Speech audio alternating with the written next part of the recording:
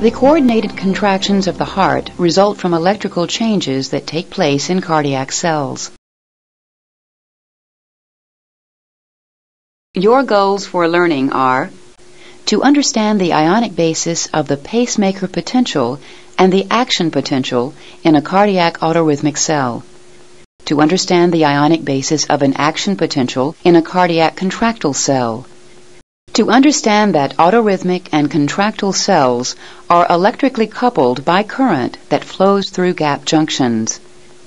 Here's what you need to know.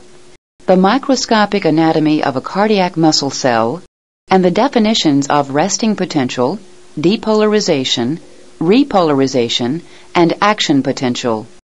To review cardiac muscle cell anatomy, click the link icon. To see definitions of terms, click the bold red words. Cardiac autorhythmic cells in the intrinsic conduction system generate action potentials that spread in waves to all the cardiac contractile cells. This action causes a coordinated heart contraction. Of all the cells in the body, only heart cells are able to contract on their own without stimulation from the nervous system.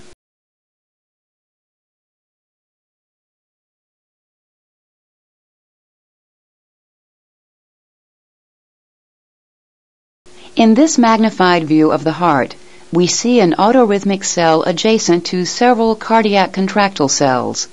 Action potentials generated by autorhythmic cells create waves of depolarization that spread to contractile cells via gap junctions.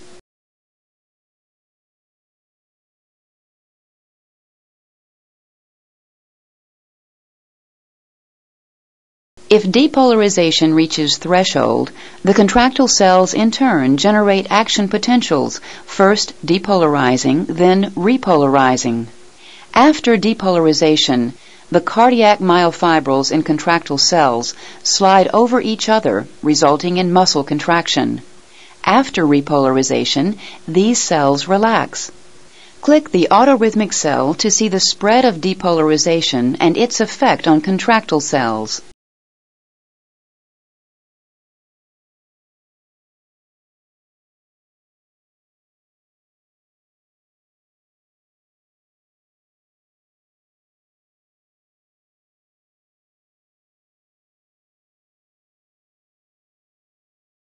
Let's explore the structure of an autorhythmic cell.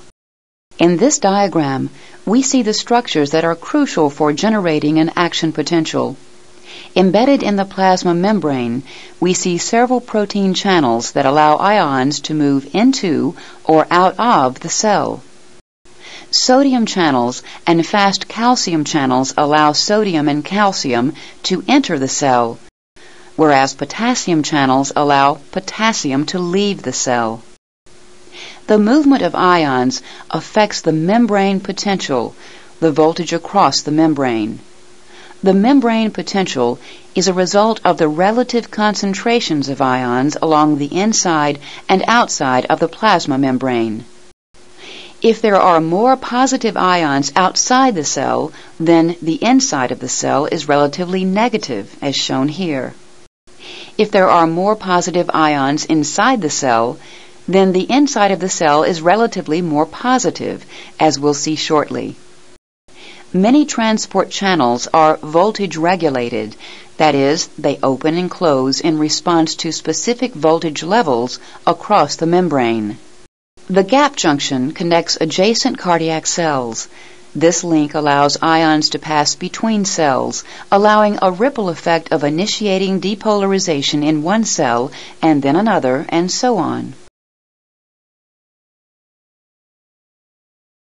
Here's an overview of the initiation of action potentials in an autorhythmic cell.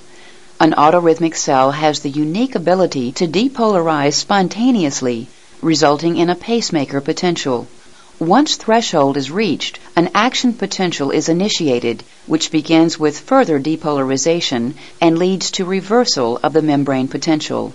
Then, repolarization occurs, returning the cell to its resting membrane potential. The cell spontaneously begins to slowly depolarize once again, and the sequence is repeated. The following screens show this process in more detail.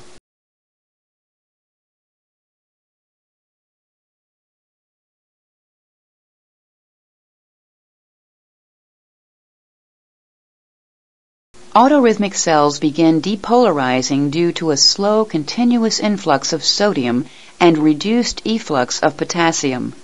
Click the sodium channel to begin this slow, spontaneous depolarization process.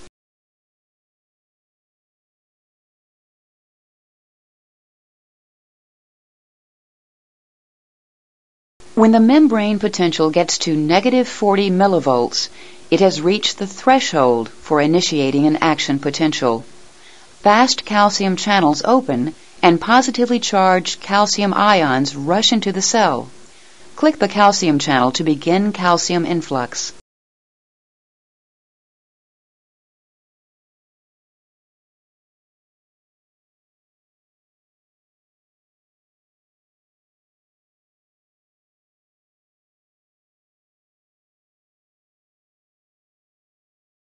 This reversal of membrane potential triggers the opening of potassium channels, resulting in potassium rapidly leaving the cell. To see the potassium efflux and the resulting repolarization, click the potassium channel.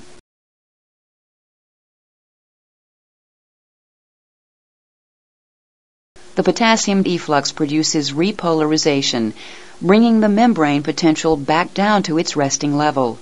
Although not shown here, several other events take place during repolarization. Ionic pumps actively transport calcium back to the extracellular space, while sodium-potassium pumps transport sodium out of the cell and bring potassium into the cell, thereby restoring ion concentrations to their resting levels.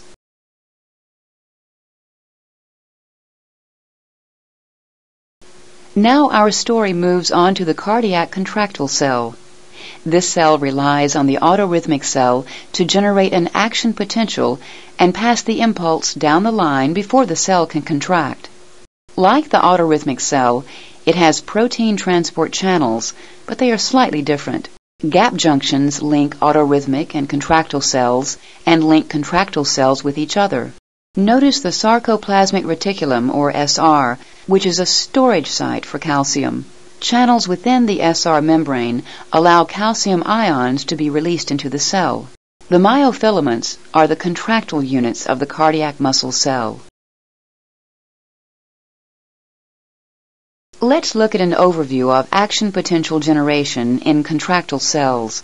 Once threshold is reached, the action potential starts with depolarization.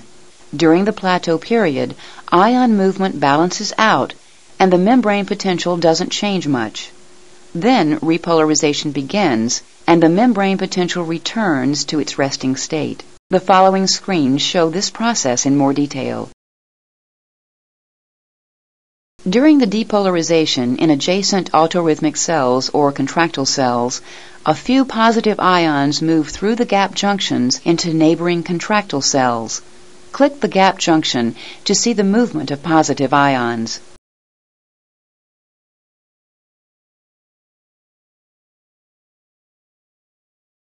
This entry of positive ions creates a small voltage change which initiates depolarization.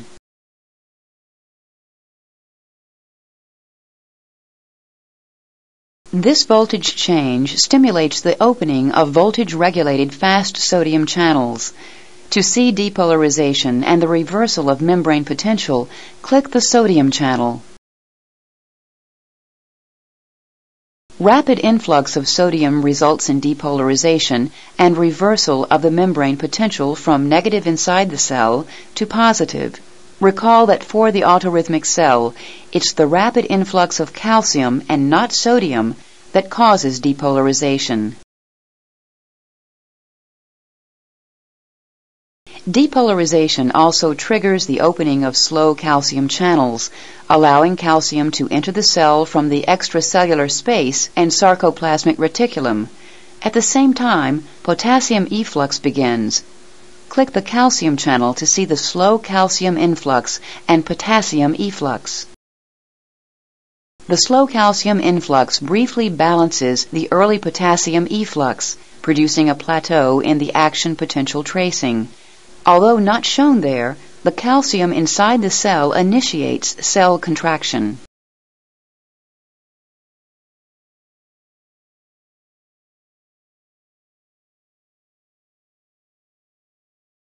The calcium channels close while more potassium channels open, allowing potassium to quickly leave the cell, resulting in repolarization.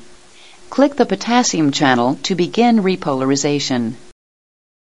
The rapid potassium efflux results in repolarization, bringing the membrane potential back down to its resting level, with the interior of the plasma membrane more negative than the exterior. Although not shown here, ionic pumps actively transport calcium back to the sarcoplasmic reticulum and extracellular space during repolarization, while sodium potassium pumps transport sodium out of the cell and bring potassium in. This pumping activity restores the ion concentrations to their resting conditions. Click the autorhythmic cell to see the action potential wave along with corresponding graphs of action potentials in an autorhythmic cell and a contractile cell.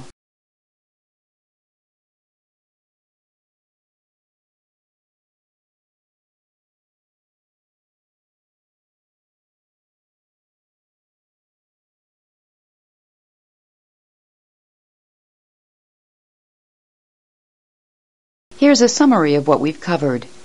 In autorhythmic cells, the pacemaker potential is due to the influx of sodium and reduced efflux of potassium. This triggers an action potential.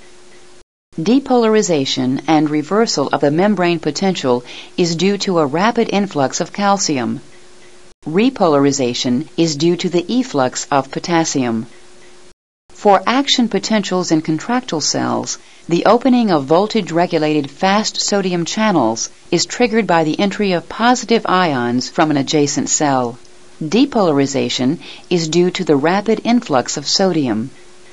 A plateau is produced by calcium influx, which balances the potassium efflux.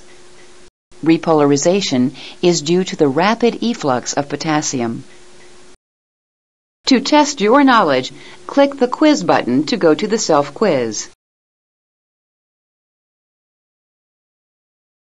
To access cross-references for this topic in your Benjamin Cummings textbook,